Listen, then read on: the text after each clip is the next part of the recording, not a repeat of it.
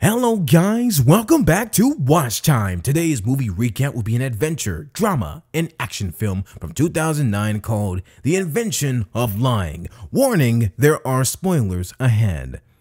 In an alternate universe, everyone tells the truth all the time with no exceptions. People say exactly what they think and feel, which often leads to awkward or uncomfortable situations. The movie starts with a man named Mark Bellison, a chubby, struggling screenwriter in his 40s, who is on his way to pick up his date. He walks around, twisting and turning, trying to find her unit inside a luxury apartment building. He finally finds her apartment and knocks on the door. A beautiful woman opens it. Since humans have no reservations about telling the truth, however absurd and straightforward, the woman tells Mark he is early. He follows this by introducing himself and asking her how she's doing. She tells him that she's a little frustrated at the moment and also equally depressed and pessimistic about their date tonight. Before revealing her name as Anna, she invites Mark to come in. Anna goes upstairs to get ready, leaving Mark alone on the sofa. When she returns, Mark admits he's embarrassed about the restaurant he picked as it might not be fancy enough for her. He opens up about his financial situation, mentioning he has no assets and that his boss said he'd get fired this week. As Anna descends the stairs with a smile, Mark stands up. Anna informs him she just finished masturbating, to which he immediately replies that it makes him feel aroused and he hopes the day culminates in intimacy. Anna candidly tells him she doesn't find him attractive and hurriedly asks if they could leave. Mark agrees, and as they continue their departure, Anna picks up her purse. Anna answers her phone at the restaurant, talking to her mom in front of Mark. She honestly says Mark isn't very attractive, not wealthy, a bit overweight, but he's funny and nice. She tells her mom no intimacy or even a kiss tonight. The dinner ends with Anna having three margaritas. The waiter offers his number, but she says no. The scene shifts to outside Anna's apartment. Mark thanks her for the evening, feeling she's out of his league and that the date was a favor to his friend, Greg. He doubts he'll hear from her again. Anna says she enjoyed the evening more than expected, but wants to think about it when she's sober. Mark suggests she call him the next day if she still likes him then. Anna considers this, offers her cheek when Mark leans in for a kiss and bids him farewell. The next morning, Mark goes to work and gets spotted by a tour group. The guide introduces him as an in-house screenwriter, but then points out he's not very successful and might get laid off. Mark waits awkwardly.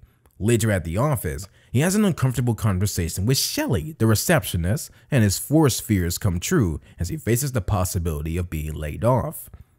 Mark got fired from his job because his 1300s films were boring. His boss, who stated confrontations, let him go. Before leaving, Brad Kessler, a successful screenwriter, humiliated Mark, calling him a crappy writer. Brad admitted he'd always hated Mark but felt threatened by him. Mark left feeling ashamed. The following morning, Mark wakes up his usual 7:30 a.m. alarm and there are hard knocks on his door. It's his landlord asking for rent. Mark tries to reason with the landlord, explaining that he got fired from work and only has $300 left in his bank account. The landlord insists he pay the entire $800 or move out. Mark, feeling desperate and ashamed, goes to the bank to close his account and withdraw money. The system is down and the teller asks how much he wants. In a mischievous moment, Mark says $800. When the system comes back, the teller apologizes for an error and gives him $800 in large bills. Mark nervously exits the bank, smiling cheerfully when he realizes his newfound trick. He pays his landlord the rent. When questioned about the source of the money, Mark lies, saying he found it on the street. The next day, Mark is at the bar of his friend, Greg. He tries to explain his newfound ability to lie. To demonstrate, he tells a series of wild lies, including changing his name to Doug, being various things like an Eskimo, a pirate, and a one-armed German explorer. Surprisingly, Greg and the bartender believe every word. When Mark asks them what they do with this power of manipulation, both express desires that gravitate towards physical interactions with women. Walking the streets later, Mark tries to test the limits of his newfound power. He convinces a woman that the world will end unless they have an intimate encounter. However, moments away from taking advantage of the situation, his conscience kicks in. He fakes a call to NASA and reassures the woman that the world isn't ending.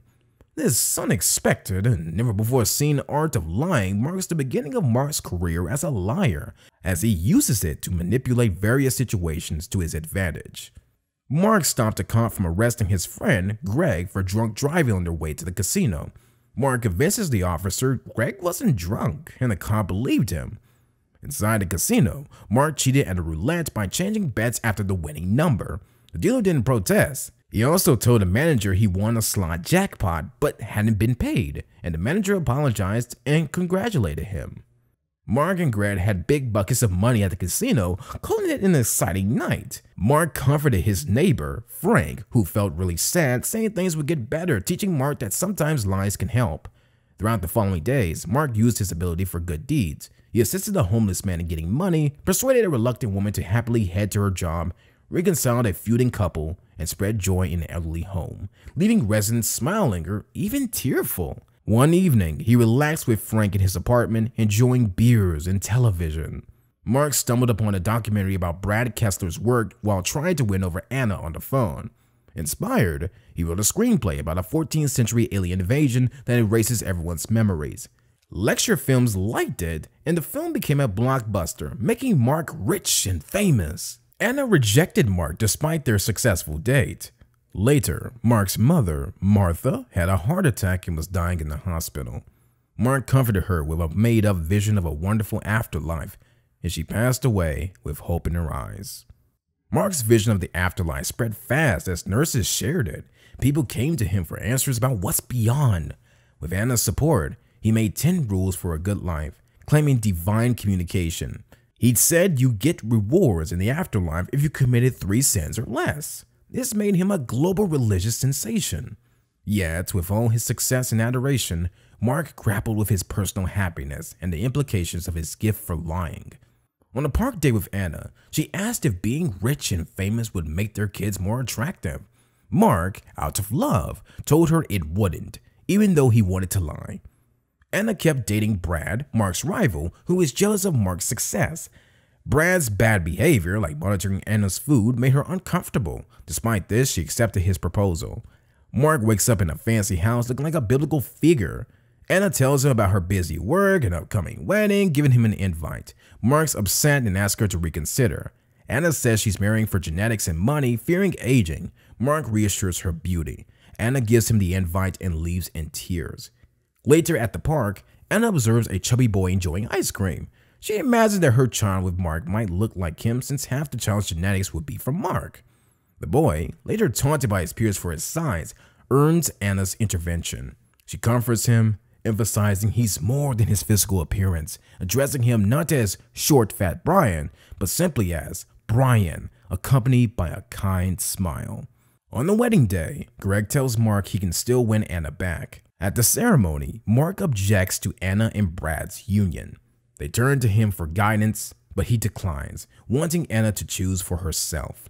Mark admits his ability to lie, and Anna needs time to think. In the end, she declares her love for Mark.